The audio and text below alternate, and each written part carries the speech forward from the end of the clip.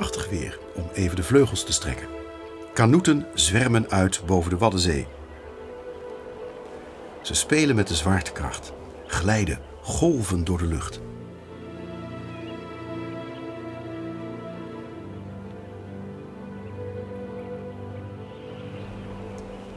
De lichtval in combinatie met hun vliegbewegingen zorgt voor prachtige spiralen die opkomen en verdwijnen.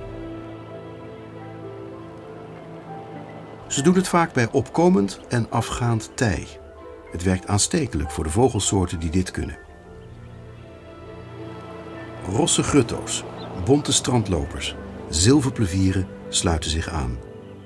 Met z'n allen in de lucht, veilig, dicht op elkaar. Moeilijk te zien wie wat is met al die vogels tegelijk. Maar er zit ook orde in. Sommige vliegen in groepjes, soort bij soort. En het is een perfecte verdediging tegen roofvogels. Welk vogeltje moet je eruit pikken? Om van in de war te raken.